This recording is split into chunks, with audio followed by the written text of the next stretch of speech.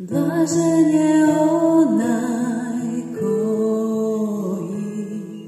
spozna ne može, da treba tvoja milost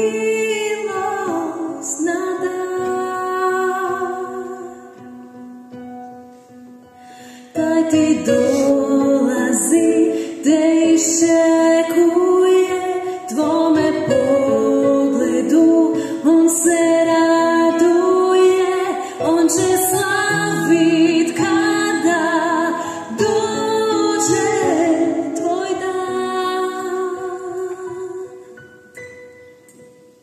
Vieron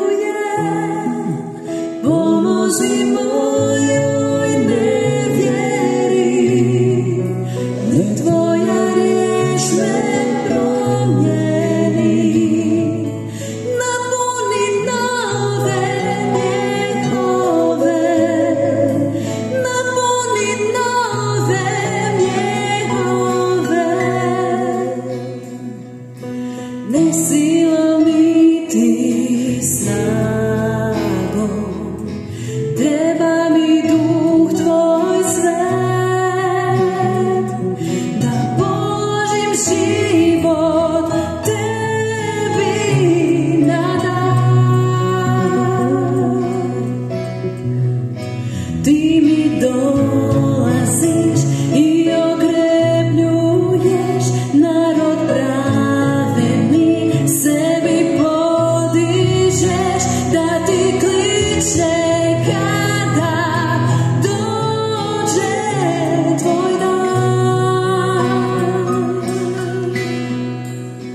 Vjerujem, pomozi mojoj nevjeri, tvoja riječ me promjeri.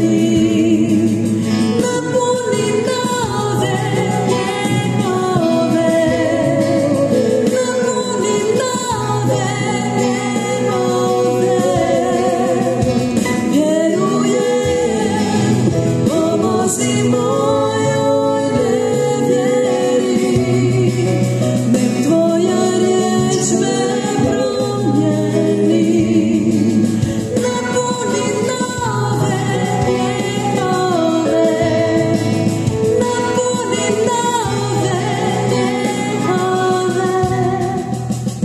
Neko stane sve što krene protiv istine Tama ljudski obzir i glasnije od sveg srca kličem Amen.